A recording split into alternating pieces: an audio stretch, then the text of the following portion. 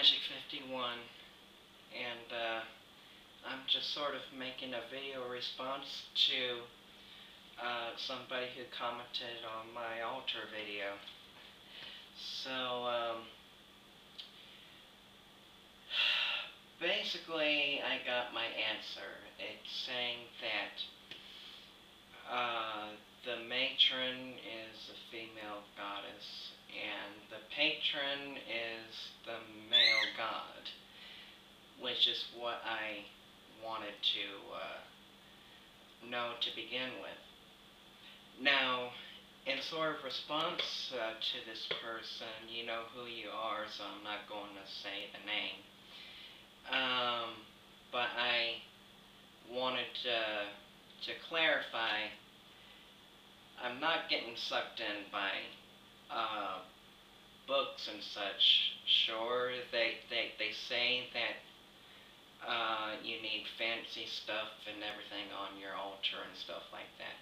But in my case, I uh, the reason why I want to um, buy that stuff is because I'm more of a visual person. Of course, I can just easily just say uh, the pantheon's name that I follow, you know, like Isis or Osiris.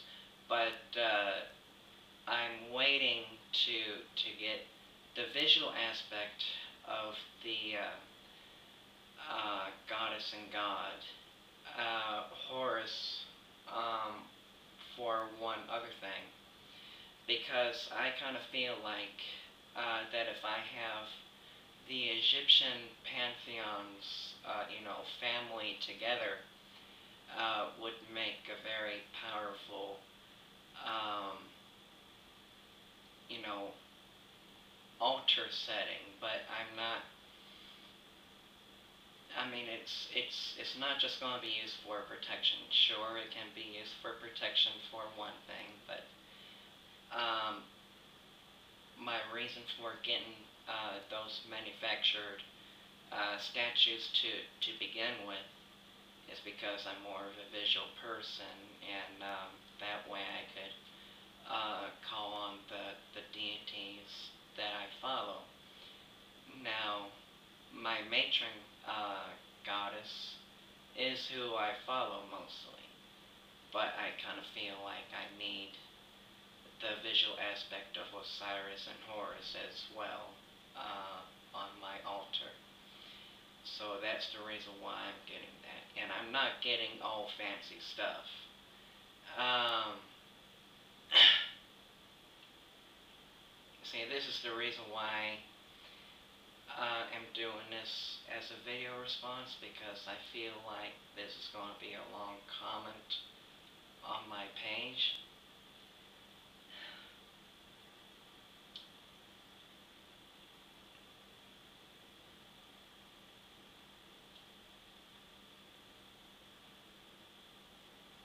Um, and I and I thank you for, for the advice. I, I'm, I'm not saying I, I don't care for it. I'm just thanking you for, for the advice in advance. But I did throw away the uh, lost feather that, that my um, bird had, had lost in her molting. But uh, I do have a new one up for an offering. But, uh, yeah, she just lost a, a puffy feather here. um, anyway, thank you in advance, but I'm not doing anything um, all by the book, even though it says uh, such things like that. I do have my own way of doing my little small rituals or um, spell work, uh, but I mostly do spell work and and rituals as sort of a um, honor, you know, in honor of uh, the deity and um, and mostly for the uh, last resort kind of thing. uh, when nothing else, excuse me, when nothing else, um,